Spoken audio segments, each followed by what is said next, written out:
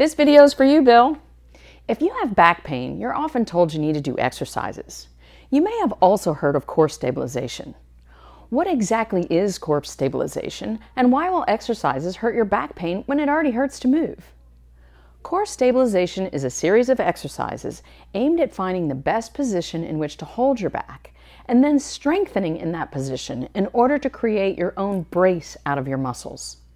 You may be avoiding things like walking your dog because of the yanking on the leash hurts, or you may not even be able to sit up in bed because it feels like you're not strong enough to support the weight of your own torso. So, why do exercises? One of the big points in physical therapy is the tactic of strengthening the muscles around a painful joint.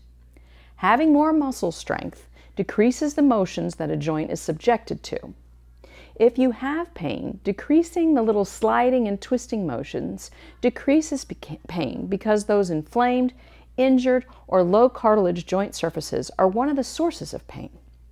So, to repeat the idea, if you can decrease the grinding of joint surfaces, that means less pain. In order to decrease this motion, you must increase your strength in a very specific way. So let's get specific now. The first thing you need to do is find your lumbar neutral. Some people just tell you to push the small of your back into the floor. That's a less precise way of doing it. So let's step it up by having you find your actual lumbar neutral. Start with laying on your back with your knees bent. Flatten your back by pushing your small of your back into the bed.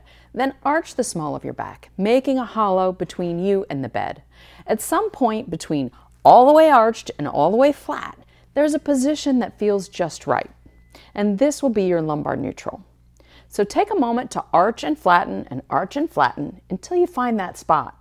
And then freeze in that position that feels just right or normal or natural. This is your lumbar neutral. Practice this until you can find it quickly and easily. The next step is an isometric exercise. That means you're going to tense your muscles without moving anything, sort of like when you make a bicep muscle to show off to the camera. But what I want you to do is to carefully hold your lumbar neutral position while you tighten your abs, your back, and your pelvic floor. You're going to hold this for 10 seconds. Do this 10 times, twice a day. So go ahead and find your lumbar neutral. Good. Then freeze and hold. Once you're good at that, just try moving your arms or your legs or both gently while concentrating very hard and holding your lumbar neutral position perfectly still. Now, this might seem silly to you to do these exercises laying down. We're only starting laying down because this is the easiest. The next thing you'll do is you're going to try to find and hold your lumbar neutral in sitting, standing, while walking, and then while doing anything. So keep practicing, keep trying more challenging positions like maybe while cooking or driving or walking your dog. Soon it will be habit. You'll be a pro when you can hold your lumbar neutral while lifting weight. So if you like this video, please subscribe to us on YouTube, like us on Facebook, check out our website, and